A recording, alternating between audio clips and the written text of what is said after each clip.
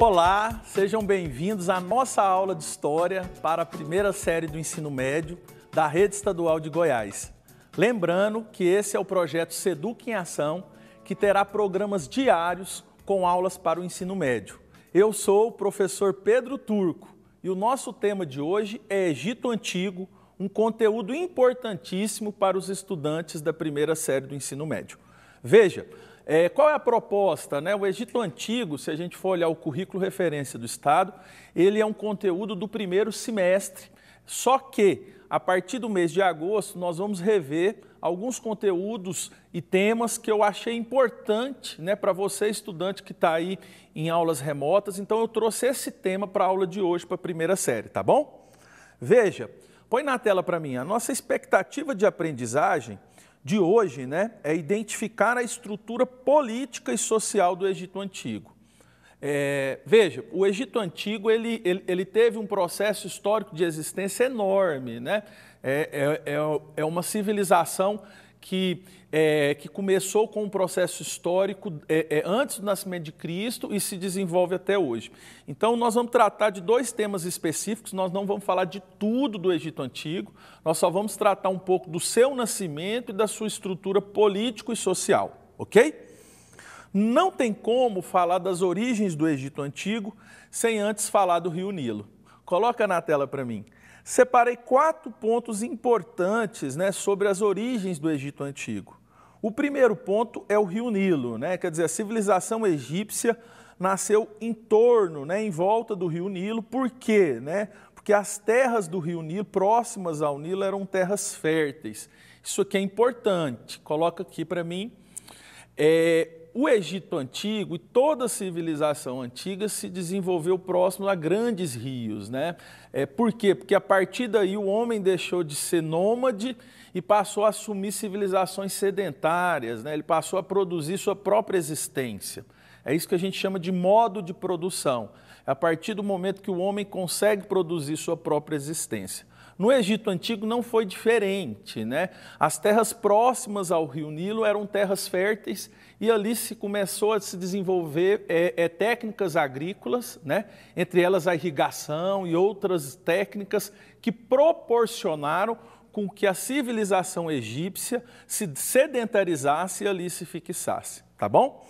Outra questão importante, né? a civilização egípcia surge no período neolítico né, aquilo que nós chamamos de revolução agrícola. Qual que é a principal característica do período neolítico? É a revolução agrícola. Né? É isso que eu falei. A partir do neolítico, a, é, é, as populações passaram a se fixar em determinados locais e ali produzir sua própria existência.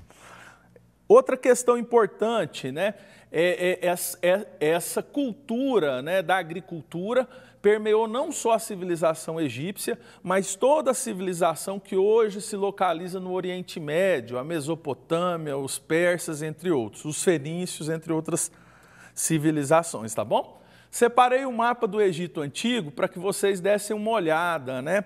Aonde se localiza o Nilo e aonde que se localiza o Egito Antigo.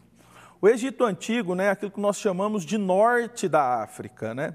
Ele, ele, ele é um país, né, uma civilização que se desenvolveu próximo ao Oriente Médio, então reparem aí no mapa, né, próximo da Síria, do Líbano, ou seja, de civilizações como a Mesopotâmia, o Fenício, os persas, e para o lado do deserto da Líbia, aonde ali se localiza o rio Nilo. Percebam, né? O rio Nilo ele, ele, ele, ele praticamente corta toda a civilização egípcia e ao longo do rio Nilo foi se desenvolvendo inúmeras cidades, povos, grupos humanos e comunidades. Ok? Então, assim, é, isso aqui é uma tese, na verdade, né? E, e, e, tem que ficar muito fixado, memorizado, identificado na cabeça de vocês. É, a importância do rio Nilo para os egípcios é uma importância quase sagrada. Alguns egípcios consideram que sem o desenvolvimento agrícola próximo ao rio Nilo, não, não existiria sociedade, não existiria aspectos políticos, econômicos, sociais e muito menos aspectos culturais. Então eu separei um slide para vocês, é, reforçando um pouco a importância do rio Nilo para essa civilização. Observem, né? Então, é, é, o Rio Nilo tinha uma importância agrícola, desenvolvimento agrícola, ou seja, o desenvolvimento econômico do Egito Antigo. Ele tinha um desenvolvimento histórico, porque o Egito Antigo passou a ser uma civilização sedentária, então eles utilizaram da sedentarização e a construção de um modo de produção para viver, né, para se reproduzir enquanto sociedade. O rio Nilo tem uma questão religiosa com os egípcios. Né? Os egípcios consideravam o Nilo como uma dádiva, porque a partir do Nilo que eles conseguiram construir sua sociedade. E já falamos de terras férteis e a questão da religiosidade que o Nilo tinha com a população egípcia. Né? Então, do aspecto econômico, né, observem esse slide, isso aqui é importante. Do ponto de vista econômico, é, o Rio Nilo proporcionou, primeiro, a criação de gado, segundo, né, é, como que eles é, é, é, como funcionava a agricultura né, no Egito Antigo? Ela funcionava em períodos sazonais, de seis em seis meses. Por quê? Porque o, o rio Nilo, é, é, é, em seis meses do ano, ele, ele, ele era cheio, né? então as terras eram tomadas pela água do Nilo, e seis meses do ano ele, ele era seco, né? era um rio seco, ele diminuía, e ao diminuir, próximo a ele formavam terras férteis. Outra questão que se desenvolveu no Egito, a gente não pode negar, a questão dos pequenos agricultores livres. Então, não existiam só escravos, também existiam pequenos agricultores livres. E por último, né, o Estado egípcio, né, o organograma social do Egito, ele é centralizado na figura do faraó. E a base da sociedade egípcia é, a, é, é, o, é o escravo, é a escravidão. É uma escravidão diferente do que ocorreu no Brasil colônia, porque a escravidão no Brasil colônia estava muito centrada na questão racial, no Egito antigo não, né? A questão da escravidão ela estava centrada na, nas conquistas de guerra.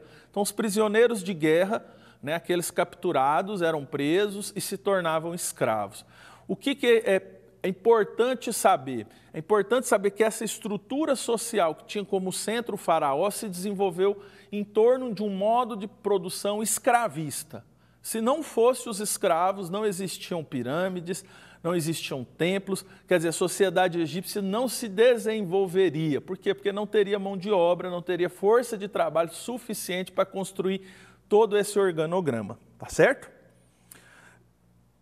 Então veja, a estrutura social do Egito Antigo, né? dentro disso que eu estou falando. Então o Egito Antigo é uma sociedade de classes, já tem um, um Estado estruturado e institucionalmente constituído, né? existia pouca mobilidade social, então as classes, é, é, é, é, os escravos nunca seriam pequenos agricultores e os pequenos agricultores nunca chegariam às elites, aos faraós. O Estado do Egito Antigo ele é um Estado autoritário e teocrático, isso aqui é importantíssimo, né? É, o que é um Estado autoritário e teocrático? Um Estado centralizado na figura de uma pessoa, no caso o faraó, e teocrático porque o faraó ele tinha duas funções. Né? Ele era ao mesmo tempo líder político e ao mesmo tempo líder religioso. Então ele organizava toda a estrutura política do Egito e organizava toda a estrutura religiosa é, basta lembrar que o faraó é considerado a figura de Deus na terra, né, o enviado de Deus na terra para poder organizar aquela estrutura vigente. E por último, a existência da escravidão. Eu acho que isso aqui tem que ficar bem marcado. O modo de produção no Egito ele é um modo de produção escravista, então a escravidão ela é fundamental. Eu lembro, do, eu lembro de um grande historiador brasileiro, é, já falecido, professor da Universidade Federal Fluminense, Ciro Flamarion Cardoso. Essa tese é dele, né? De que o Egito se desenvolveu em torno do modo de produção escravista, tá bom? Veja, separei a pirâmide social do Egito para que você, aluno do primeiro ano, memorize isso que eu estou falando, né? Então veja, lá no topo da pirâmide, você encontra a figura do faraó, então ele é ao mesmo tempo líder político e líder religioso, memorizem isso. Ele é ao mesmo tempo líder político e líder religioso. Na parte central da pirâmide, né, você percebe os sacerdotes, os nobres e funcionários públicos. Então existia uma certa uma, um, um, uma certa classe média alta no Egito, se é que se pode se chamar assim, né? Conceito de classe média, mas existia uma classe média alta no Egito, que era constituído pelo alto funcionalismo público, né, que geria determinados é, é, setores do Estado egípcio, e, e, eles faziam parte dessa, vamos dizer assim, dessa elite, né, abaixo do faraó vinham eles. E por último, né, tinha uma figura dos artesãos, camponeses e escravos. Né? É, não podemos esquecer dos soldados. Lembrando que os artesãos, camponeses e soldados, eles tinham é, é, privilégios restritos, mas tinham privilégios. Os escravos não, né? os, os, os escravos eram considerados coisas, né? eles eram coisificados e serviam unicamente para exercer aquele trabalho mais pesado, mais duro e tinham é, é, é, essa obrigação, tá bom? Veja, quem é o faraó? Né? Acho importante falar dessa figura política para a gente encerrar a nossa aula de hoje. Então, o faraó, quem que era né, esse líder político e, e religioso? Né? Eu separei três características que eu acho importante. A primeira característica é que o faraó era o enviado de Deus na terra. Né? Isso aqui é importante porque vai definir a questão da, da religião e da religiosidade no Egito. Outra questão importante é que o faraó tinha um caráter político-governamental. Né? Sem ele, é, é, é, é, não existiria Estado autoritário e teocrático no Egito. Não existiria Estado enquanto instituição, né? uma instituição muito bem centrada. E por último, né, é, é, é, esse caráter religioso, o faraó dirigia os templos e era responsável em nomear e formar os sacerdotes. Tá certo? Então separei uma imagem só para a gente finalizar a aula é de um faraó. Essa, esse é, é, o famoso faraó Tutankhamon, né? Isso é uma exposição é, é, é, que ocorreu no Museu do Louvre, no Egito, em Paris, e, e mostra é, muito bem o rosto dele, né? Uma escultura grandiosa com parte de ouro. Então mostra toda a riqueza do Egito antigo, tá certo? Vejam, né? É, chegamos ao fim de mais uma aula de hoje. Não saiam daí, viu? Pois após o intervalo teremos a aula de biologia com o meu grande amigo Luiz Primandade.